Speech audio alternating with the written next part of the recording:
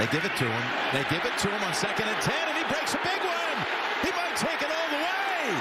As Chubb takes it to the end zone for the touchdown. 70 yards. Coach Stefanski. In Nebraska, his line did the job this time. And they did because as the game goes on, Bill Callahan knows what to get to based on your fronts. And this was a simple one back power play.